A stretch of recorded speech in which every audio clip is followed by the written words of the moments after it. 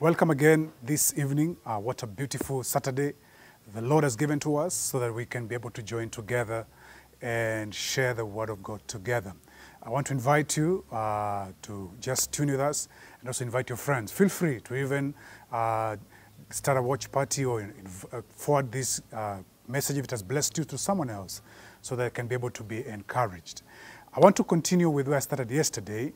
And uh, by the grace of God, we are talking about work out your calling. In other words, I am challenging the church, the body of Christ, each one of us, to be able to rightfully and uniquely live out your calling that the Lord has created you for. Our lead text is Ephesians chapter 2, verse number 10. Allow me to open it right now as I read in Jesus' mighty name. The Bible says, For by grace you have been saved through faith. This is not from yourselves, it is the gift of God, not by works, so that no one can boast. For we are God's workmanship, created in Christ Jesus to do good works, which God prepared in advance for us to do. I want to again remind us that the key reason of you being alive today and getting saved or accepting the call of salvation through faith, by, uh, through grace by faith today is for the reason of living out your call. And the Bible points out something here that's very important that none of us should boast because of us being saved.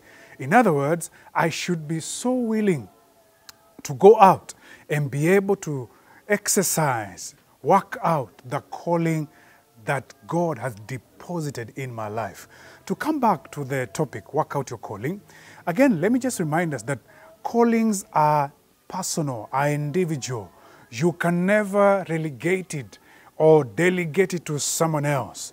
Just like we are doing workouts, many of us now, uh, can you imagine I decide that uh, my wife, Pastor Ann, will be able to work out for me, but I become fit.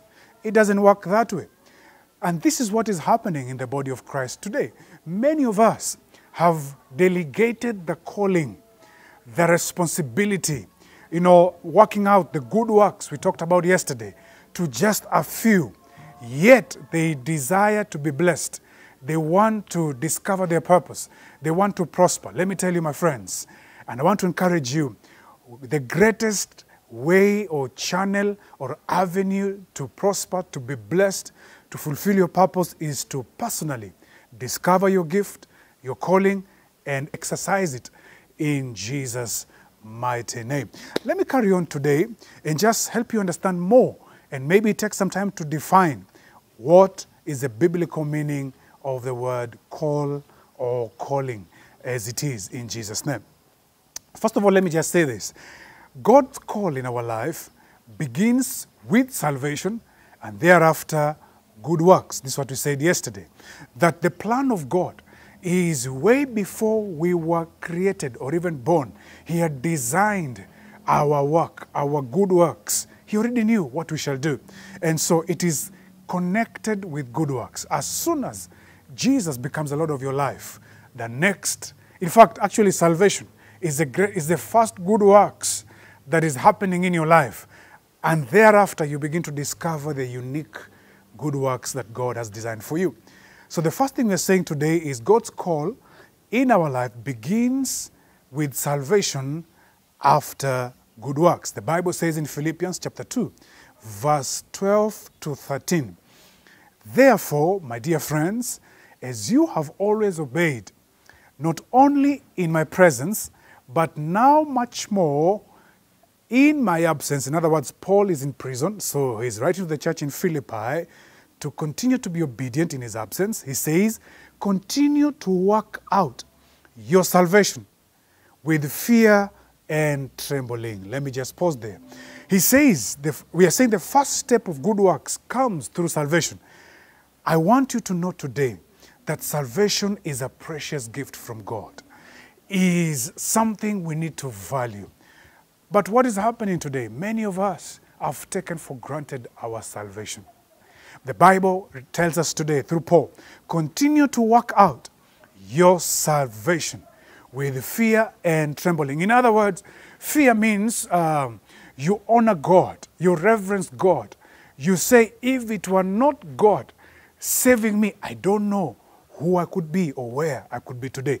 So fear and trembling brings in the aspect of honor, reverence, and importance and priority. And so Paul says, continue to work out, exercise, let salvation begin to benefit you henceforth in the mighty name of Jesus Christ. Verse 13 he says, For it is God, oh, I love this, who works in you to will and act according to his good purpose. So we want to combine two efforts. You are working out your salvation by reverence, worship, uh, fear of God. And at the same time, God works in you to will. In other words, He releases His plan for you in heaven so that you begin to function in the will of God as you fulfill His purposes here on earth in Jesus' mighty name. So there are very important things that we are discovering today. That the call of God begins with salvation, so that I can be able to discover the will of God for my life and His purpose. And He says it is Him who works in you in the name of Jesus Christ. Number two, God call, God's call in our lives is worth more than any other thing we could live for. God's call in our life is so worth, precious, priceless, that nothing else we can live for. Let me just throw a question that I think um, it has been asked before. Some of you have read the Purpose Driven books by Rick Warren. He says, What are you on earth? What, what are you living on earth for? Or why are you still alive?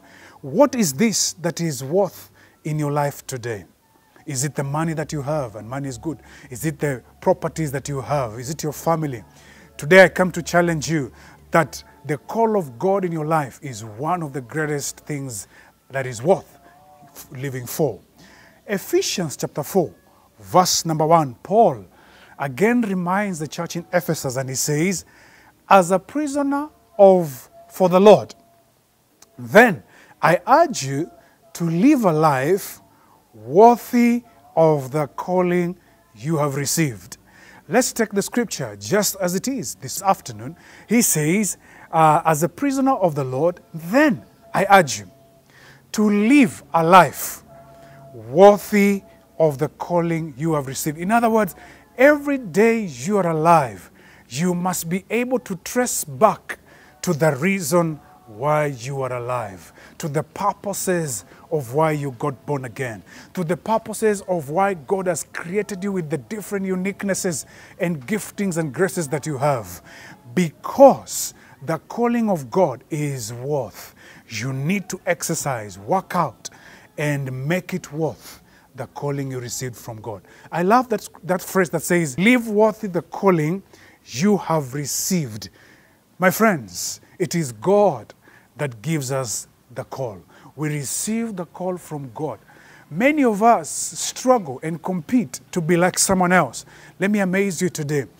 God has designed, that's why He created you uh, in a very creative way, so that you can function uniquely. There is that particular thing only you can do, nobody else can be able to do. So I pray that today you'll be able to walk in that way that make your calling worth today. Number three, and maybe the final one God's call in our lives has nothing to do with how good or gifted you are, but it is only by the grace of God. Paul records and speaks to the church in Corinth in 1 Corinthians chapter uh, 15, verse 10. He says, But by the grace of God, I am what I am. And his grace to me was not without effect. No, I worked harder than all of them, yet not I, but the grace of God that was with me. I love this particular scripture. As a servant of God, as a Christian, it helps me to know that what I am doing today or who I am today, I didn't create it myself. I didn't call myself. I didn't make it on my own. It is just by the grace of God. And that's why when we combine this scripture with Ephesians chapter 8, Ephesians chapter 2, verse 8, none of us should boast. It is wrong for a Christian to be proud of his salvation. You need to humble yourself and be ready to practice, work out your calling so that others can benefit from it because it is by the grace of God you are who you are today. Paul says this that by the grace of God, I am who I am. I want to encourage you today. Who you are now, if you're a child of God, is by the grace of God. And he says, This grace of God has effect in me. That's what the Bible says. Grace to me was not without effect. In other words, it if affected my life, turning me from the most cruel man, Saul, then, to being Paul. Paul is recorded as the man who wrote a third of the New Testament just because of the grace of God. Let me tell you, the grace of God can turn your life upside down. From the very useless person, an unwanted person, a person who was isolated, to become a person who is useful and great in the kingdom of God. I encourage you today do not look down on yourself but let the grace of God begin to work in your life so that you can know your calling and begin to fulfill the purposes of God in your life. He continues to say, No, I worked harder than all of them. For sure, we saw Paul doing that. Yet not I, but the grace of God that was me was with me it is by the grace of god that we are able to do what we do today i am speaking to somebody right now. You don't like yourself. You feel like ministry is not working out. You feel like it is uh, things are not pushing. You're not growing. Your ministry is not picking up. I want you to reconnect with the grace of god. Hand over your life to god and allow the grace of god to form you and to get you to serve in the calling that God has called you today. I want to close at that particular point right now and make a prayer in the mighty name of the Lord. You could be listening to me and you're saying, Pastor, I am confused about my calling. I don't know uh, what I am. I keep wanting to be like someone else. I want to encourage you today as we go to pray. Connect with the grace of God. And by faith, that which you desire to become, begin to exercise.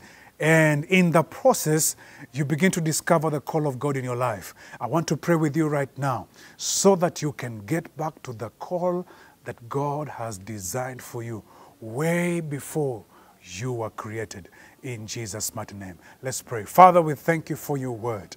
Just like Paul says that we need to make worth our calling. It is priceless. It is so precious to us, O God, that it is salvation that leads us to the great the good works. Help us to continue to serve God gladly in the good works you've designed for us. That in the end of it, O God, we shall say like Paul, it is not I, but by the grace of God, I am who I am today. We thank you for your word. We thank you for all that will listen to this message today. May they return to the call of God and begin to serve God like never before. You could be listening to me and you stopped serving God. In fact, for you, you're actually happy that we no longer go to church.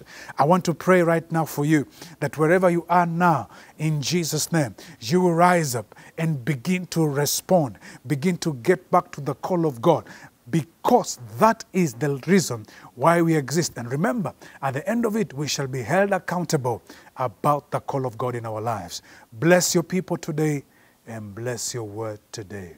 I pray this in Jesus' mighty name. Amen and amen. God bless you. Thank you for listening to the word today. I want to invite all of you to join us in our service tomorrow. Our Green Pastures Tabernacle Church Rongai service begins at 11 a.m. I want to invite you to be with us as we he hear the word and even actually we'll be serving the Lord's table together. You can also be part of us. Prepare, uh, you know, a, either any soft drink that you have with you, a juice or milk or tea, and a piece of bread or a cake, so that we can be able to break the bread together in the name of the Lord. God bless you so much. Thank you for your time. We see you tomorrow. Amen.